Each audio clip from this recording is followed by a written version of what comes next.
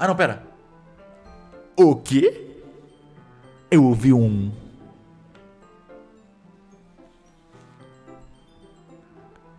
WhatsApp?